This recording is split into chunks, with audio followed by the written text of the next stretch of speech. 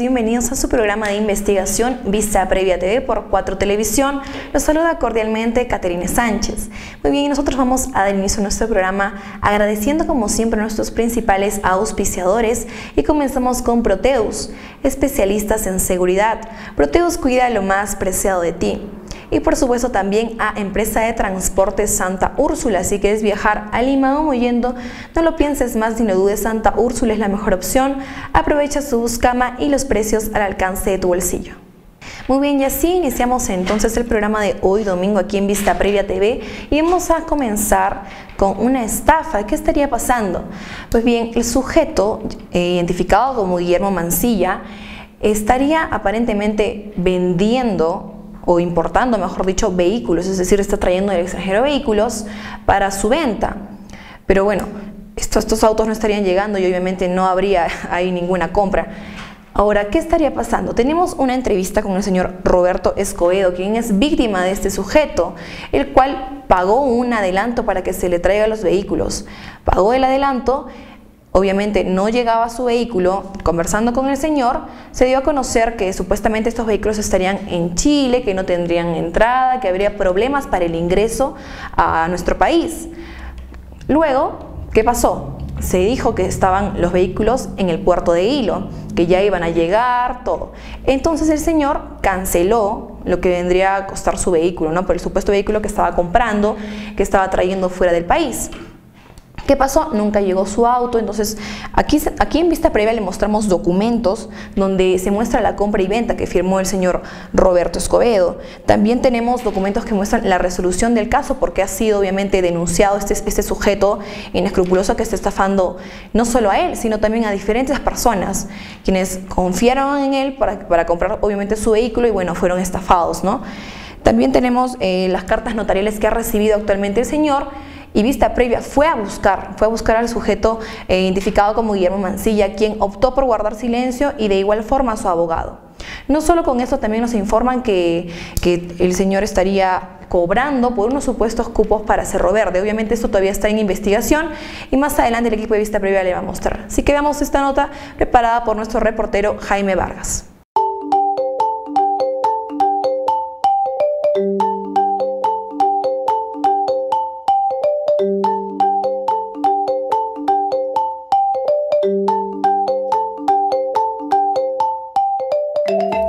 El señor Guillermo Mancilla Ventura, funcionario metalurgista de la minera Cerro Verde, se hace conocer en su centro laboral como un importador de vehículos. En el año 2012, por medio de un amigo de trabajo, es que contacta al señor Roberto Escobedo Chambi, de 67 años de edad, que con la ilusión de comprarse dos camionetas para ponerlas a trabajar invierte sus ahorros pagando el total de las camionetas al señor Mancilla a pedido suyo haciendo creer que las camionetas ya estaban en camino. Según contrato, las camionetas llegaban en noviembre del año 2013 a más tardar. A nuestro programa llegó el señor Roberto Escobedo Chambi, quien aclaró el tema con respecto a estafa que según él refiere sucedió, y nos brindó las declaraciones en las cuales nos dijo lo siguiente. Primeramente al señor Mancilla conozco por intermedio de mi yerno José Flores. Eh, en esta oportunidad estaba buscando un vehículo, o dos vehículos para hacer trabajar donde trabajaba en Orcopampa.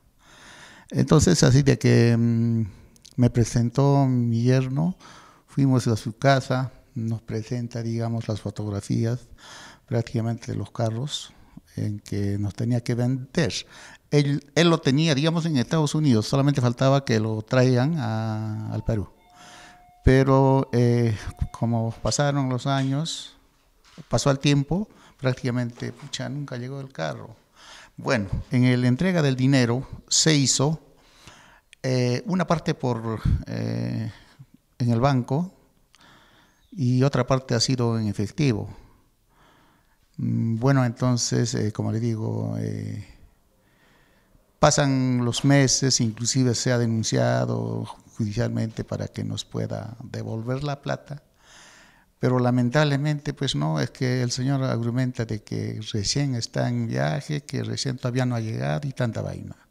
Y así pasaron el tiempo hasta hoy día, no llega el famoso carro, inclusive ya este, el, proceso ya, ya no está en la fiscalía, en la fiscalía ya han, este, mm, la han echado culpable ¿no? del, prácticamente de la gran estafa. Entonces nos pasaron al Poder Judicial, eh, justamente ahorita estamos en el Poder Judicial. Dígame, ¿desde cuándo está con este problema? ¿Hace cuánto tiempo usted le entregó el dinero? ¿Cuándo hicieron los trámites? ¿Y cuánto tiempo ha pasado, no? Ya, el, los contratos los hicimos en el 2013. Eh, ha sido en octubre. Justamente él nos dijo que tenía que llegar un par de meses, cuanto más tardar, tres de repente. Pero como le digo, lamentablemente, pues no, nunca ha llegado. ¿Cuánto es el dinero que usted ha invertido en eso y que prácticamente ahora lo, lo tiene perdido? Ya, eh, se le ha dado, digamos, este, como le decía, en dos partes. Uno a su cuenta de su señora y el otro, efectivamente, eh, dinero. Y todo está, este, que le digo, con pruebas, los recibos, los vouchers. Y ya pues yo creo que no hay otra cosa que decir que no se le ha entregado, ¿no? Él reconoce, pero lamentablemente pues eh, los carros no llegan. ¿De cuánto dinero estamos hablando, señor Roberto? Estamos hablando del Jeep Cherokee, era de 20 mil dólares y el Ford Explorer era de, de perdón, 25 mil dólares. El señor Roberto pide justicia y siente frustración ya que con un sueldo de jubilado no tiene una calidad adecuada de vida y pensó en invertir para tener un mejor ingreso económico y solo consiguió discusiones familiares. Eh, mire usted, muy lamentablemente la justicia pues, es muy demora mucho, ¿no? Imagínese, estamos hablando ya casi de cuatro años. Imagínese, yo, yo soy jubilado, y la bicoca que me pague ya no se puede sobrevivir. Y justamente yo eh, quería adquirir esos carros justamente para hacer trabajar y tener un poco más de ingreso. Pero lamentablemente no, pues inclusive tener problemas con mi yerno, con mi señora, prácticamente con la familia, porque los ingresos son bicocas, pues no se puede vivir. ¿Dónde trabaja el señor Mancilla y qué otros casos conoce usted?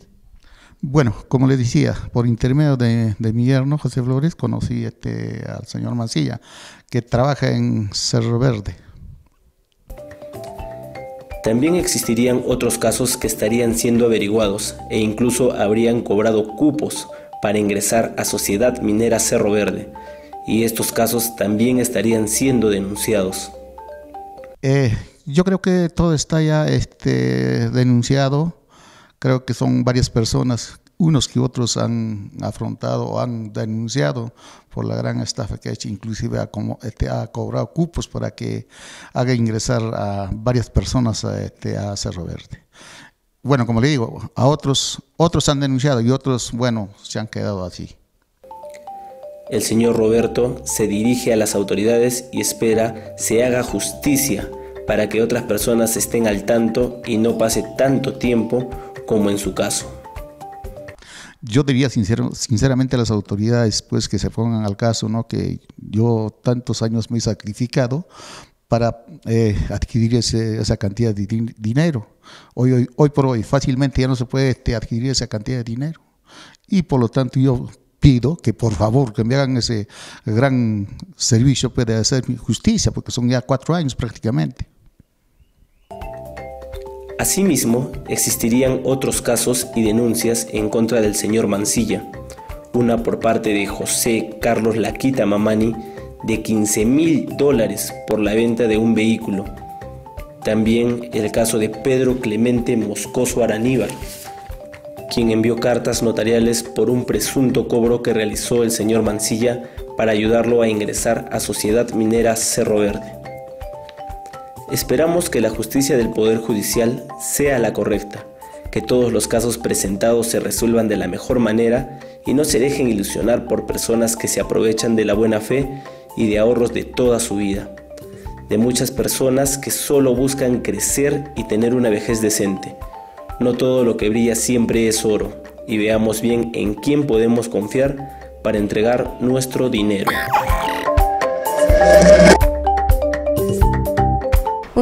Entonces la nota que preparó nuestro reportero Jaime Vargas del equipo de Vista Previa para usted acerca de la estafa de este señor que ya le hemos mostrado al señor Guillermo Mancilla, quien inescrupulosamente estafó al señor Roberto Escobedo, quien compró dos vehículos. Y compró porque canceló todo lo que se le pidió. Pagó primero el adelanto, obviamente se le estafó porque nunca llegaron las camionetas y cuando supuestamente ya estaban en nuestro país, en el puerto de Hilo, él canceló lo que vendría a ser sus dos camionetas que estaba esperando obviamente, pero que nunca llegó. Más adelante, como también le comentamos, este, estaría cobrando cupos para poder entrar a Cerro Verde, pero todavía esto está en telejuicio, es decir, estamos investigando y también está pasando por un proceso, ¿no? Todo esto tiene que ser hablado con pruebas, como siempre el equipo de vista previa le trae a usted esta información, así que por favor no se deje engañar por personas así, por más que haya un documento de compra y venta, tiene usted que estar seguro de que no lo están estafando. Averigüe más acerca de esta persona si de verdad estaría cumpliendo con lo que hace y si hay personas que ya han realizado algún trámite con, la persona que usted va a comprar, ¿no? Siempre le recomendamos que tomen las precauciones del caso, siempre vale antes, prevenir antes que lamentar, ¿no? Si usted quiere comprar algo, está bien, no estamos diciendo que todas las personas que hacen este tipo de, de trabajo, ¿no? de traer eh, camionetas, entre otros productos fuera del país, estén estafando. Pero nunca está de más averiguar bien si es que ha tenido otros, compradores, que estén satisfechos. Siempre se le recomienda, obviamente, tome sus precauciones para que no esté sufriendo y a la larga perdiendo tanto dinero que quién sabe quizás no llegue a recuperar el señor Roberto Escobedo fuera de lo que ya está invirtiendo en el abogado y en todo el trámite judicial. Vamos a una breve pausa comercial y retornamos aquí en Vista Previa TV.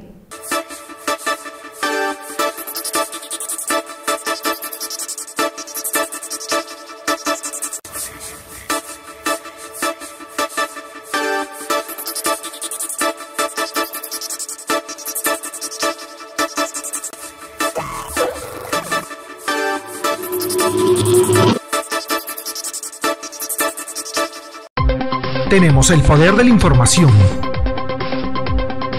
Nada nos detiene. La búsqueda de la verdad, nuestro principal objetivo. Basta ya de corrupción e impunidad. Vista Previa TV. Periodismo de investigación al más alto nivel.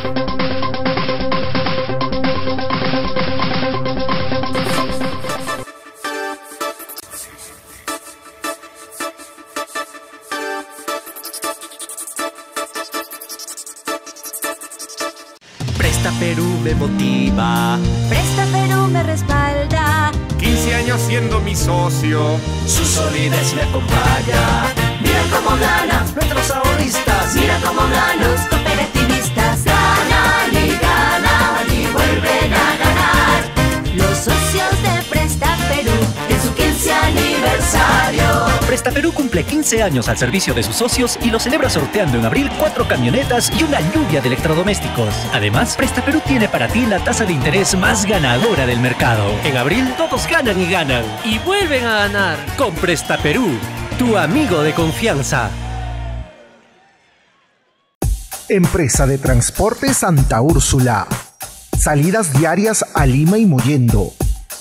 Contamos con un propio terminal para un mejor servicio Buses de última generación, desayuno y cena a bordo en nuestro servicio exclusivo Bus Cama. Tres salidas diarias a la ciudad de Lima. Bienvenidos a la nueva era del transporte. Bienvenidos a Transporte Santa Úrsula.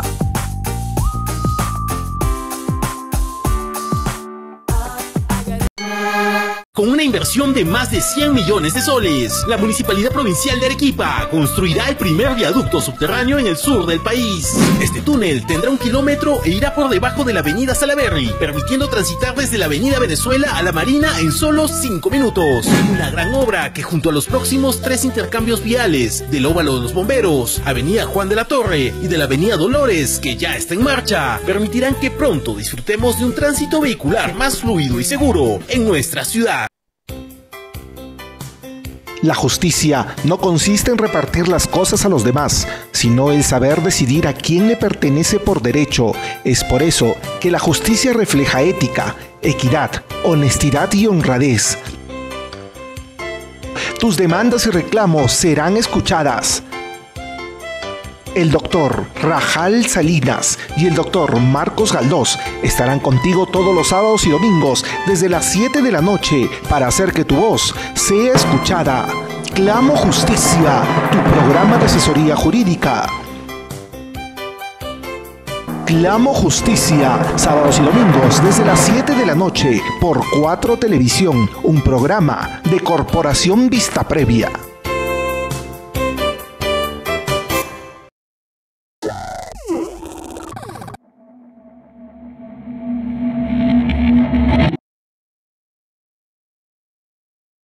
Muy bien, y continuamos aquí en Vista Previa TV y ahora tenemos la grata compañía del ingeniero industrial William Dancourt.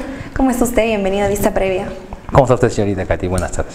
Muy bien, ahora tenemos un tema bastante interesante que vamos a conversar y nos va a dar a conocer, obviamente más a fondo, y vamos a hablar acerca de las aguas residuales. Así es. Coméntenos un poquito este tema que viene afectando en nuestra ciudad de Arequipa. Bien, empezando por el principio. Eh, hace años atrás ya estaba pronosticado que en nuestra ciudad de Arequipa, hablando puntualmente, íbamos a crecer de agua. Eh, no tanto por el calentamiento global, sino más todo por el uso indiscriminado del agua, del agua potable. Funciona lo siguiente, no, no estamos aplicando la ley de aguas que ya la tenemos hace años atrás.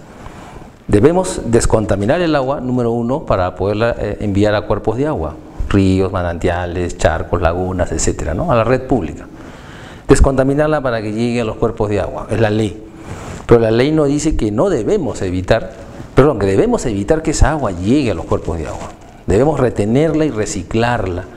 Ellos en reciclaje están hablando solamente de la descontaminación, esta ley habla, pero no habla de que debemos reciclarla y mantenerla, sostenerla.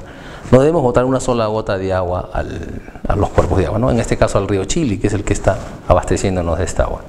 Debemos tomarla y agotarla hasta el último, hasta que se evapore. No debemos botarla, no debemos desperdiciarla para nada. Y acá, infortunadamente, por falta de, de conocimiento, por falta de educación sobre este tema tan importante del agua, estamos careciendo de agua, ya vemos las, las consecuencias. ¿no? Una cosa es el calentamiento global, las tremendas tormentas y lluvias que tenemos por efecto de esto, del, de lo, de, la, descongelamiento, los casquetes polares. Y otra cosa es que ya no tenemos agua en las represas. O sea, en las represas tenemos tan poquita agua que casi todo se va para la agricultura. Imagínense todo lo que se desperdicia en el transcurso del, del trayecto del agua, se va desperdiciando, se va filtrando. Entonces, señorita, acá el problema es el siguiente. Están en los, en los, pueblos jóvenes que han sido invadidos en una forma también indiscriminada, sin control, sin planificación, están haciendo silos, porque no tienen ellos desagüe. Claro. ¿no? Entonces, como no hay una planificación, ellos hacen sus silos porque necesitan usarlo. Pero esos silos, esa, esas aguas contaminadas se están filtrando hacia dónde? Hacia los cuerpos subterráneos de agua. Entonces, cuando hace años hicimos una prueba con CEAPAR, hace como nueve años, había en la, la Marina había un pozo que tenían el subterráneo, ya lo sellaron. Y extrajimos agua, encontramos agua, casi el 25% de coliformes fecales. Y era un pozo que antiguamente era de agua purísima, porque estaba cerca del río. Ahora no, ahora está tan contaminada que ya lo han sellado por completo, no podemos sacar nada de agua de ahí. Entonces los municipios no han tenido el control, claro. han permitido que las invasiones hagan lo que quieran y no han controlado el medio ambiente. El problema es este, de que estamos usando el agua potable, la llevamos a los hilos, esos hilos contaminan los cuerpos de agua y se, se recicla nuevamente ¿no? el, claro. el, el efecto. Estamos tomando agua contaminada. Agua contaminada. Entonces lo único que nos queda, que ya se dieron cuenta, es usar el agua de las represas. Lo que, lo que normalmente era para, una parte era para llenar los, los, los, tanques de agua y otra era pues para irrigación de agricultura, ganadería. Claro. Se está invirtiendo. Ahora, toda esa agua está yendo para la población que crece indiscriminadamente sin control. Exacto. Y como no hay control tampoco en la, en, la, en la, población demográfica, tampoco hay control en el control de agua. Y se desperdicia. Y se desperdicia el agua. Muy bien, justo usted me estaba comentando antes que estaba presentando una propuesta a las municipalidades, a diferentes autoridades, pero que quedaba como que en stand-by, o sea, no se ejecutaba. Es cierto. Eh, no entraría a la parte política porque de repente voy a herir susceptibilidades. Sí les he presentado la idea a muchos alcaldes. Afortunadamente, eh, el único alcalde que ha prestado oídos y me está dando cabida para hacer este proyecto es el ingeniero este, Ronald Ibáñez del municipio de José Luis Bustamante. Le presenté una idea y vamos a hacer un, un, piloto, vamos a hacer un pequeño pozo de reciclaje de aguas en el mismo municipio como piloto para que la gente vea cómo se hace. Es algo tan fácil, tan sencillo, tan económico que todos deberíamos hacer en nuestras casas. Es muy sencillo en realidad el tratamiento y muy de bajo costo la creación de ese pocito. Justo en el distrito de José Luis Bustamante siempre se viene viendo lo que es este reciclaje, bueno, no específicamente de agua, ¿no? sino de papel, cartón, entre otras cosas, y también la plantación de arbolitos. Parece que realmente pues el distrito de José Luis justamente quiere apoyar y apostar por lo que viene siendo el reciclaje, a diferencia de otros distritos. Eso es cierto, señorita. Conversando con Ronald, él está preocupado en eso, en la forestación. Pero cae en el mismo problema que tiene todos los arequipeños. ¿De dónde saco el agua? Exacto. Yo voy a verdear, está bien, voy a verdear todo mi, todo mi distrito, pero ¿dónde saco el agua? ¿De agua potable? No, ahora salió una ley que no puede usted tocar el agua potable ni para regar su jardín, porque estamos en escasez de agua. Va a salir dentro de poco esa resolución. Gracias a Dios. Entonces, eh, espero que también sea penado que aquellas personas que riegan sus jardines, que limpian las veredas, que lavan sus carros con esta agua, debe haber una penalidad porque no tenemos agua. Podemos usarlo con las aguas descontaminadas. Reutilizar y ahorrar. Las aguas, las aguas contaminadas se dividen en dos, en dos campos. Las aguas negras y las aguas grises. Las aguas negras son las que salen exclusivamente del urinario y del inodoro, porque contienen coliformes fecales. Son las únicas aguas negras. Y las aguas grises son las que vienen del lavarropa, del lavamanos, del lavaplatos, la ducha. No solamente contienen detergente un poquito de grasa y nada más, no son contaminantes, ¿no? Son este, equipos, eh, perdón, este, elementos biológicos que se biodegradan con el, con el agua, o sea que no es contaminante. Lo otro sí. Por eso, señorita, en Europa, en Asia, en Oceanía, todas las casas tienen doble ducto.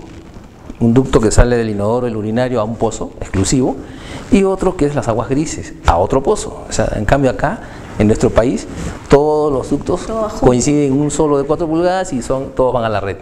Por eso es mucho más difícil también poner en práctica la reutilización. Se hace imposible, porque una casa construida hace 20 años tenía usted que demolerla por completo para cambiar toda la ductería nuevamente. Estamos radicando en eso, pero bueno, si ya lo tenemos ahí, podemos todavía este, reparar ese daño. Agarramos el ducto, lo desviamos hacia un pozo y ahí podemos hacer reciclaje. Ahí sí, entonces ya no va a la red, queda en nuestro pozo. Ahí empieza el reciclaje. Podemos reciclarlo, podemos descontaminarlo, pero no potabilizarlo porque el proceso es muy caro. Pero si tenemos agua de la red pública, es para tomar agua, para uso para consumo humano. El resto, lo que reciclamos, que son casi 85% del agua que usamos, se bota. Poquito es para cuando lavamos las manos, casi todo se va. Igual cuando tomamos agua, casi todo se va y nos bañamos, imagínense, el 100% se va. Entonces es muchísima agua que botamos. No debemos hacer eso. Uno, cuidamos nuestra economía y dos, tenemos que proteger nuestro ambiente. Ahí tenemos que trabajar. Exactamente, esto es concientizar. Entonces, ¿cómo podríamos empezar de una vez a concientizar, aprovechando también nuestro medio de comunicación y el, el, resto que hay aquí también en nuestra ciudad de Arequipa? Yo pienso que habría que atacar por dos lados. Primero, por la educación.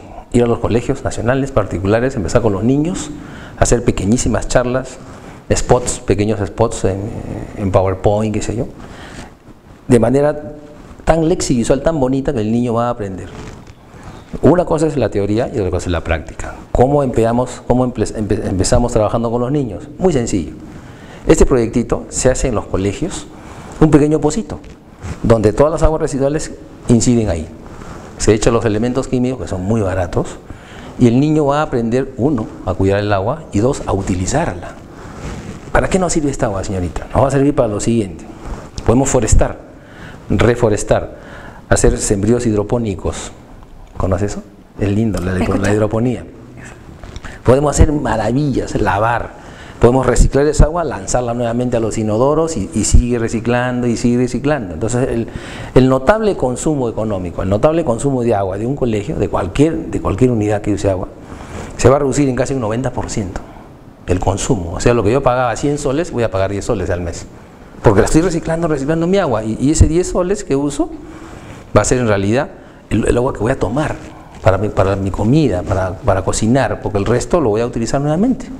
Porque como lo voy a descontaminar y lo voy a precipitar, lo voy a clarificar, me puedo hasta bañar con esa, con esa agua, puedo lavar mi ropa, mi carro, sembrar, hacer lo que quiera con esa agua. Es mía. Y sigue dando vueltas, y sigue reciclando. No la voy a botar, la voy a seguir reciclando hasta que se agote, hasta que se evapore. y este tema justo de reciclar y volver a utilizar, también que obviamente afectaría en la economía, ¿no? Este que, bueno, nos convendría a todos pagar menos, también afecta en el tema ya directo de Sedapar, Así que tendría es. que participar en esto. SEDAPAR debe participar. Eh, creo que ese punto sí debo tocarlo. SEDAPAR nos cobra nuestro recibo por agua y desagüe. Pero la pregunta es, ¿qué hace con el desagüe? Exacto. ¿Qué hace con las aguas residuales? ¿Dónde las contamina? Y conozco que hay una planta, la escaledilla en Cerro Colorado, pero por, la, por lo accidentado de nuestra geografía, las aguas de Miraflores, las aguas de Yanaguara, de Miguel Grau no llegan allá. Solamente el escaledilla es solo para ese sector de- de- del cono norte. Para eso nomás es porque el agua no va a llegar hasta acá. O sea, el agua de acá, de Selva Alegre, no va a llegar hasta Cerro Colorado. Esa planta solo es para ese sector. Y no es una planta de tratamiento residual, simplemente es un pozo.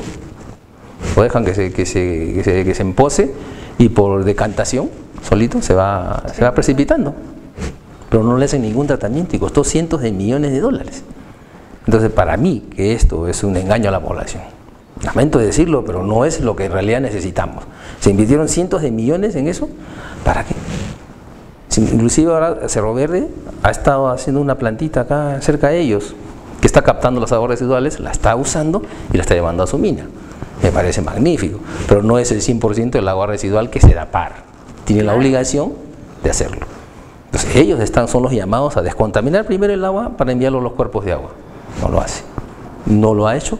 Le presentamos hace años un proyecto con la Católica de Lima, no sea católica, hace como 14 años. Lo desestimaron el proyecto, costó 35 mil dólares, se lo dimos a CEDAPAR. Y lo hicieron humo. Nunca se ¿Ya qué preocuparon. se debería? ¿Por qué no quiere si es para el beneficio de todos? Política. Para mí, es más que todo es política. Porque uno no quieren gastar, eh, hay que gastar. Para, para descontaminar el agua, para reciclarla, hay que gastar un poquito. Y creo que a estas entidades no les gusta gastar. Solo les gusta captar, Exacto. captar. Más bien sería eso. Sí, pienso, pienso que eso, porque otra razón no hay. Entonces, ninguno de ellos tiene conciencia social. Ninguno de ellos, ellos dice en realidad, tengo que cuidar el agua. Hay una ley que me obliga a, a descontaminar las aguas.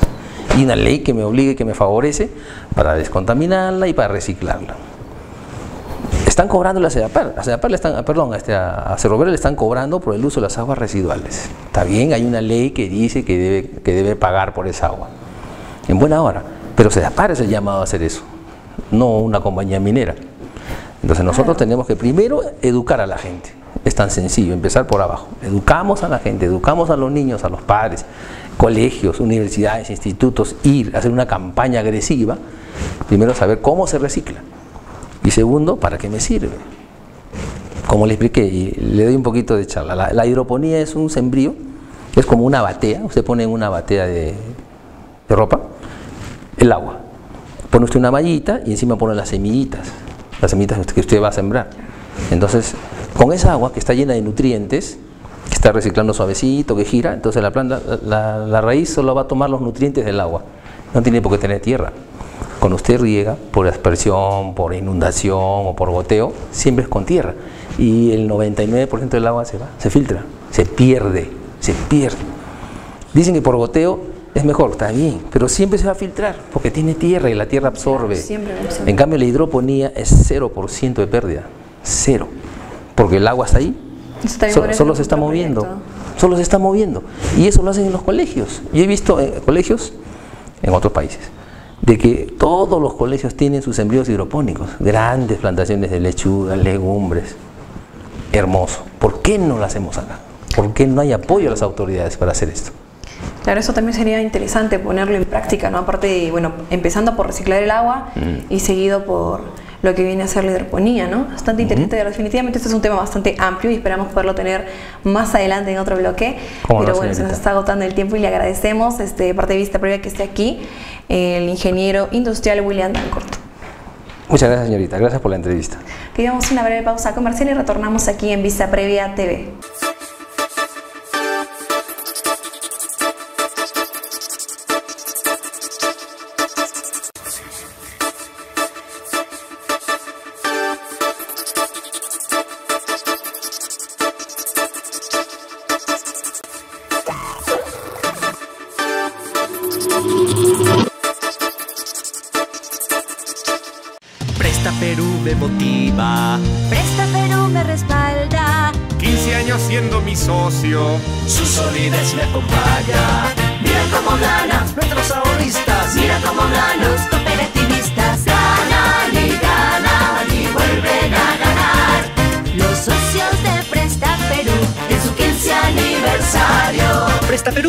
15 años al servicio de sus socios y lo celebra sorteando en abril cuatro camionetas y una lluvia de electrodomésticos. Además, Presta Perú tiene para ti la tasa de interés más ganadora del mercado. En abril, todos ganan y ganan. y vuelven a ganar con Presta Perú, tu amigo de confianza.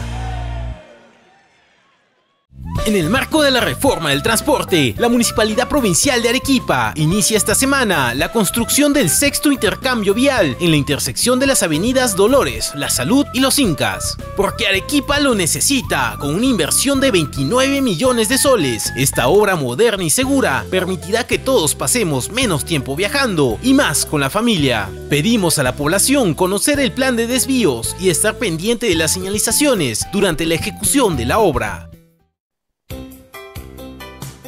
La justicia no consiste en repartir las cosas a los demás, sino en saber decidir a quién le pertenece por derecho. Es por eso que la justicia refleja ética, equidad, honestidad y honradez. Tus demandas y reclamos serán escuchadas. El doctor Rajal Salinas y el doctor Marcos Galdós estarán contigo todos los sábados y domingos desde las 7 de la noche para hacer que tu voz sea escuchada. Clamo Justicia, tu programa de asesoría jurídica. Clamo Justicia, sábados y domingos desde las 7 de la noche por 4 Televisión, un programa de Corporación Vista Previa.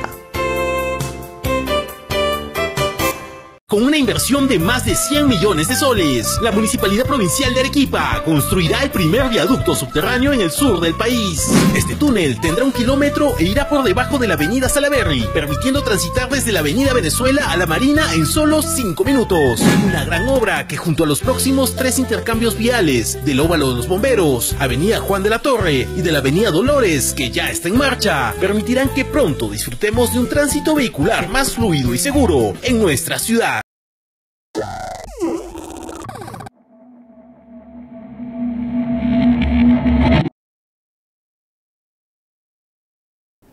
Y continuamos aquí en Vista Previa TV y ahora vamos a hablar acerca de la UNSA nuevamente, qué estaría pasando con la Universidad Nacional de San Agustín.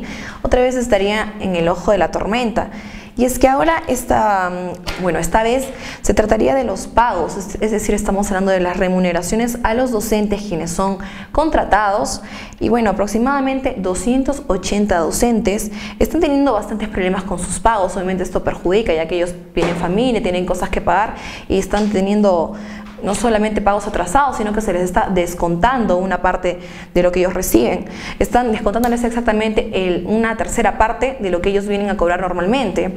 Sedunza se pronunció y no recibió respuestas del rector. Sedunza es el sindicato de docentes de la Universidad Nacional de San Agustín. Entonces, eh, nosotros tenemos en el reportaje un oficio 025-2017 que se presentó el día 24 de marzo del presente año, donde eh, obviamente iba dirigido al rector el cual hasta el día de hoy no ha respondido ni se pronuncia acerca de estas 200, 280 docentes que les están siendo perjudicados, ya que no están recibiendo el pago que obviamente deberían, les están quitando la tercera parte. Y bueno, esto llama la atención porque ese es un tema este, eh, importante. Estamos hablando del pago no de un docente ni de dos, de 280 personas que están trabajando en la Universidad Nacional de San Agustín y no están eh, recibiendo el dinero. Entonces, veamos este reportaje que tiene preparado nuestro reportero Jaime Vargas.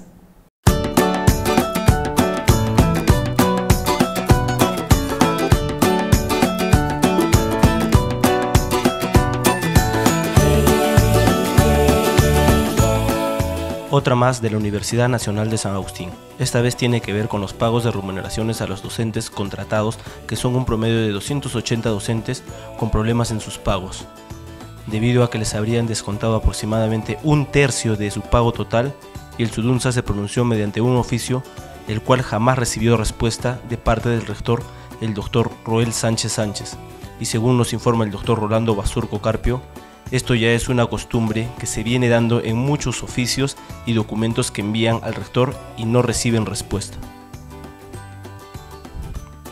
Mediante declaraciones que nos brindó el doctor Rolando Basurco, nos da más detalles con respecto a este tema y la incomodidad de sus colegas por los pagos que recibieron. Este oficio que nosotros le hemos emitido al rector es en función a reclamos de varios contratados de acá de la universidad que se han presionado aquí a la oficina algunos y algunos en los pasillos eh, me han hecho conocer de que la remuneración del mes de marzo que han recibido era bastante pequeña con respecto a la labor que ellos resolvían, ¿no? Se supone que ellos han sido recontratados en de enero, a fines de enero, y eh, bueno, si se reinicia las labores académicas de la docencia ordinaria el día 16 de marzo, también ese día se reinicia la Y desde ese día deben ellos de percibir sus remuneraciones completas. Entonces, si es a partir del 16 de marzo, deberían de haber recibido una remuneración de medio mes, por el mes de marzo. Sin embargo, a la mayoría de reclamantes nos indican pues que su, su, remuneración era mucho menos de la mitad y no se entendía cuál era la cuál era esa distribución que se había utilizado para pagarles o debido a qué tenían este pago. Entonces eh, lo que se ha hecho es informarse a través de la oficina de, de planillas qué es lo que estaba sucediendo. Entonces ahí nos informaron de que a través del eh, Consejo Universitario habían decidido reiniciar los contratos de estos colegas a partir del 20 de marzo. Al verificar las remuneraciones era real, solo le estaban pagando un tercio de sueldo. Pero los colegas contratados, la mayoría y casi todos han trabajado a partir del día 16 de marzo. E incluso hay algunos contratados eh, en el área de medicina que han trabajado desde el 3 de marzo y sin embargo a todos ellos solo les pagan por 10 días restantes del mes, lo cual a nosotros nos llevó debido al temor que tienen los mismos contratados de hacer llegar su reclamo por escrito, porque tienen temor de que vayan a tener algún tipo de represalia. Por todo lo expuesto por el doctor Basurco, también nos informa que este problema lo presentan todos los docentes contratados en este periodo todos los contratados, que aproximadamente son alrededor de unos 200, 280 docentes que son contratados. Ahorita no tengo el número exacto, pero más o menos ese es el aproximado. Entonces ellos están pues bastante dolidos, ¿no? De que se les trate de esta forma, muy particularmente de que de por sí el sueldo que se les paga contratados es mucho menor que del docente ordinario. El oficio 025-2017 fue entregado el 24 de marzo del 2017 y hasta el momento el rector Dr. Roel Sánchez no les da ninguna respuesta para solucionar el tema de sus pagos y presupuestos, además que los docentes contratados tienen temor de presentar su denuncia pública debido a que pueden perder su trabajo. Lamentablemente no, ya casi se ha hecho una costumbre que los oficios que hace llegar el sindicato pidiendo alguna información o algún reclamo a la autoridad nunca tengan respuesta. ¿Y qué es lo que pide ahora usted? ¿Qué, ¿Cómo más va a actuar? Ya que esto está quedando en nada, como usted mismo lo reitera, además que creo que hay incomodidad de los eh, docentes contratados, ya que ellos no pueden hacer su denuncia pública porque tienen temor a ciertas cosas como cuáles. Creo que justamente desde ahí viene el gran problema, porque la otra opción que se podría hacer es juntar a todos los contratados y ir a conversar con el rector para que se pueda resolver este problema. Pero en función al temor que tienen, ninguno de los contratados quiere, venir. Entonces yo creo que eso es aprovecharse del temor de la gente para no cumplir con las, con las obligaciones que competen. Ahora, particularmente nosotros como sindicato estamos terminando nuestra gestión. Ya en una semana se debe llevar a cabo las elecciones, como ya hay pura electoral, ya se ha procesado, aunque también por ahí hay una serie de vicios que se están llevando a cabo, que esperemos puedan resolverse oportunamente, pero ya nosotros estamos de salida y digamos ya nosotros casi ya no nos queda más que hacer que esperar la renovación de la Junta Directiva. La única autoridad que puede solucionar este problema es el rector Roel Sánchez, que hasta el momento no se pronuncia y no escucha la problemática de los docentes de la Universidad Nacional de San Agustín. Mire, la única autoridad que puede resolver los problemas en la universidad es y si él no toma la decisión de poder apoyar a los colegas contratados, o no tiene la decisión o no quiere, lamentablemente esto se va, va a acabar siendo un abuso de autoridad, un abuso contra la docencia universitaria contratada. El promedio de remuneraciones que recibe un docente contratado es muy baja y encima recibir solo un tercio de ese pago no solventa los gastos de un mes que pueden tener y ahora se puede entender su incomodidad. Esperemos que el rector, el doctor Roel Sánchez Sánchez, tome la iniciativa para resolver este problema, ya que hay que mantener una canasta familiar, además que solo están cobrando lo que es justo y con un presupuesto que ya está destinado para estos fines. Vista previa seguiré informando y estaremos esperando que el doctor Roel dé sus declaraciones y pueda aclarar este tema.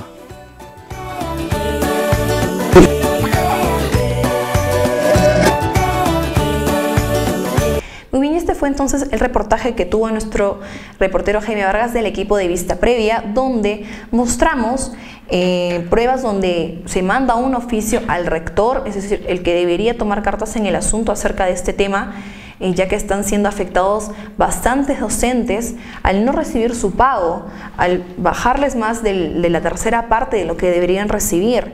Y entonces ¿Qué está pasando con la Universidad Nacional de San Agustín? Mejor dicho, con sus autoridades, porque ellos deberían tomar este, conciencia de que estas personas, ¿de qué están viviendo? Tienen familia, están trabajando cuántos años están invirtiendo su tiempo y bueno, no están recibiendo absolutamente su pago. Llama la atención porque obviamente SEDUNSA toma cartas en el asunto, manda un oficio como sindicato de docentes que está encargado de esto y el rector hace caso omiso al oficio que se le manda, no piensa en las personas que está perjudicando. Entonces los docentes tranquilamente podrían dejar de trabajar, no asistir y eso ya perjudicaría obviamente a los alumnos a la larga. Nuevamente quizás podrían entrar en una huelga y, y obviamente va a perjudicar a los alumnos en específico que no van a estudiar, van a perder clases y este problema va a crecer. Entonces hacemos un llamado obviamente al rector de la Universidad Nacional de San Agustín, que qué pasa, que reaccione de una vez, que tome este, conciencia de que hay bastantes afectados y que son docentes de su universidad. Entonces esperemos esclarezca este problema y el equipo de Vista Previa va a seguir investigando. Damos una breve pausa comercial y retornamos.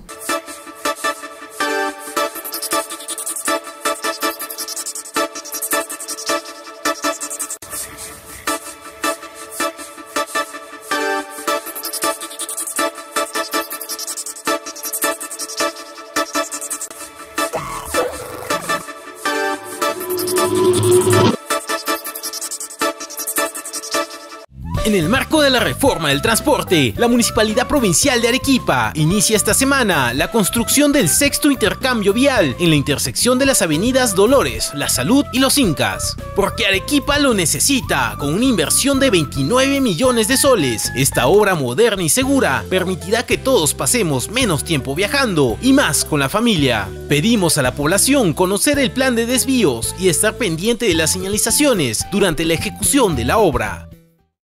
Empresa de Transporte Santa Úrsula. Salidas diarias a Lima y Mollendo.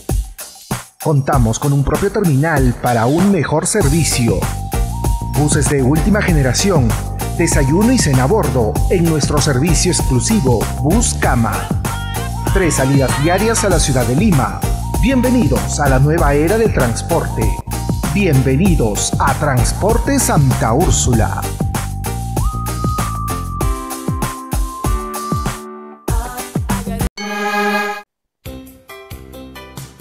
La justicia no consiste en repartir las cosas a los demás, sino el saber decidir a quién le pertenece por derecho. Es por eso que la justicia refleja ética, equidad, honestidad y honradez. Tus demandas y reclamos serán escuchadas. El doctor Rajal Salinas y el doctor Marcos Galdós estarán contigo todos los sábados y domingos desde las 7 de la noche para hacer que tu voz sea escuchada. Clamo Justicia, tu programa de asesoría jurídica. Clamo Justicia, sábados y domingos desde las 7 de la noche por 4 Televisión, un programa de Corporación Vista Previa.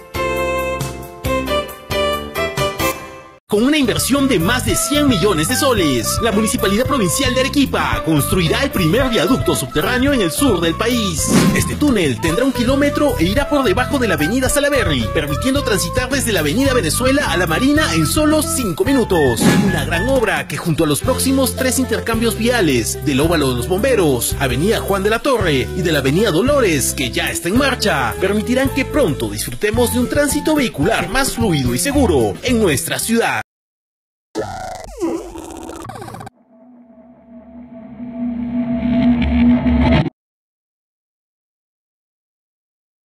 Y continuamos aquí en Vista Previa TV y ahora tenemos eh, una nota bastante amena y estaríamos hablando de la próxima Semana Santa porque esta semana ya obviamente viene el feriado largo, lo que todos han estado esperando para viajar, para lo que debe ser un momento este, de tranquilidad, ¿no? de la familia, de reconciliación en caso haya tenido algún problema, de estar más cerca de Dios, de obviamente comer el rico pescado ya que no se puede comer carnes y toda la, tradicional Semana Santa que siempre venimos viviendo. Pero ¿qué pasa? El equipo de Vista Previa tiene preparado para usted lo que vendría a ser Semana Santa versus Semana Tranca. Entonces, ¿qué vamos a mostrar? Lo que está pasando todos los años. Resulta que los jóvenes universitarios toman la, la Semana Santa, que es un feriado largo, aprovechan estos días libres y bueno, pues toman sus copitas, se pasan de más y los fines de semana que vemos a los muchachos ahí en la calle borrachos, en estado etílico, van a, como siempre hay accidentes porque toman en exceso y otro más. Veamos esta nota preparada para usted. Jueves 13 empieza Semana Santa y tendremos un fin de semana largo para meditar o muchos de nosotros la convertiremos en una semana tranca. Según la Iglesia Católica, son días de conmemoración de la pasión, muerte y resurrección de Cristo. Por ello, los católicos toman estos días como reflexión junto a los seres queridos.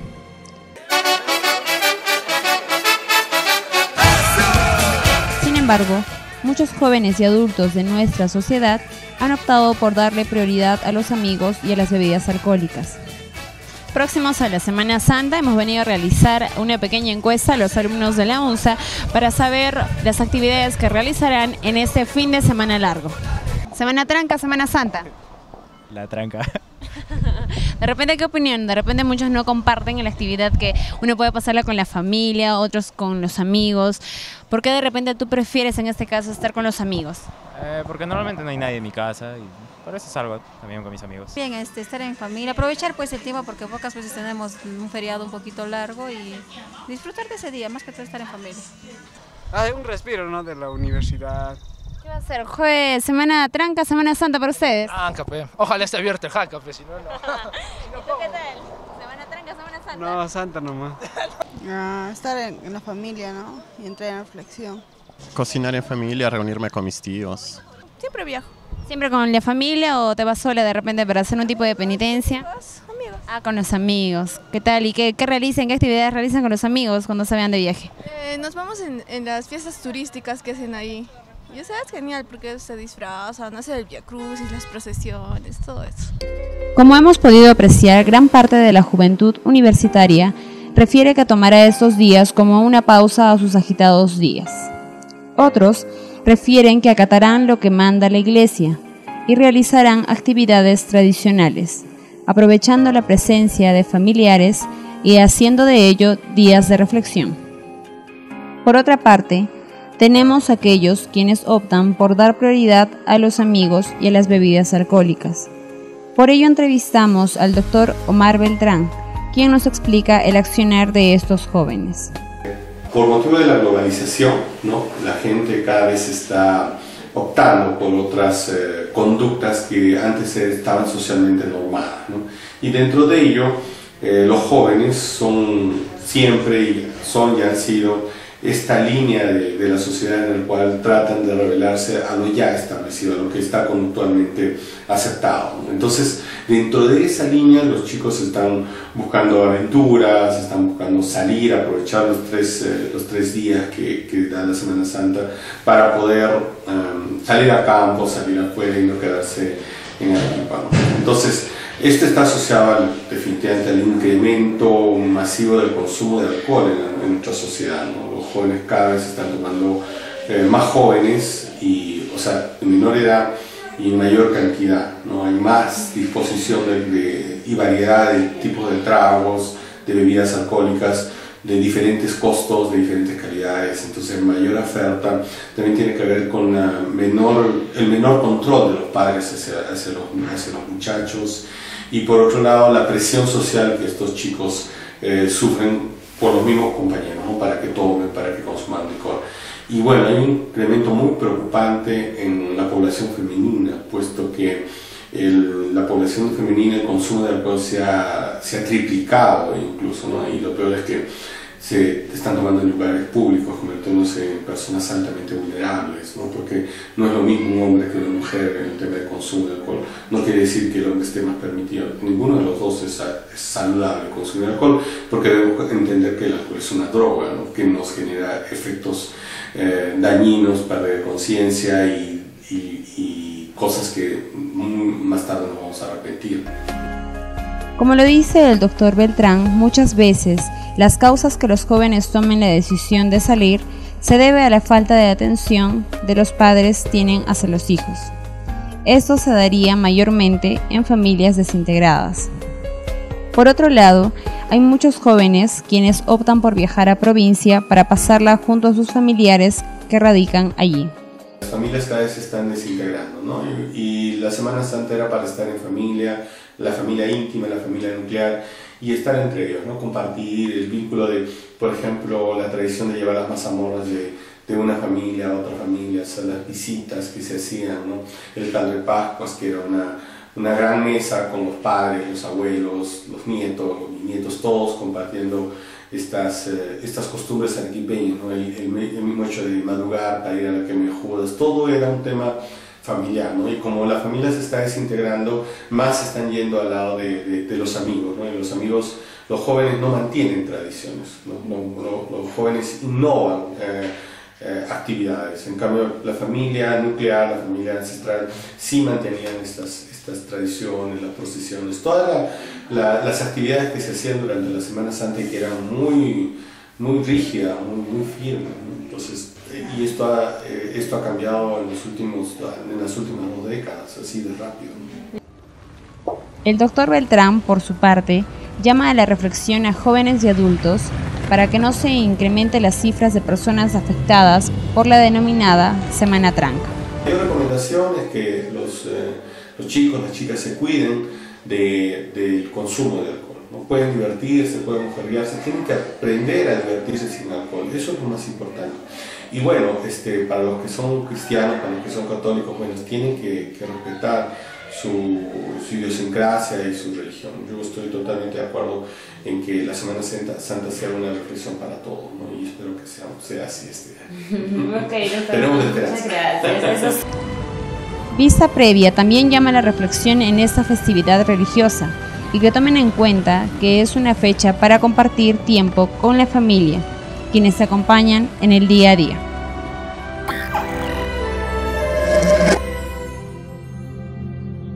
Muy bien, esta fue entonces la nota que teníamos preparado para usted de Semana Santa versus Semana Tranca.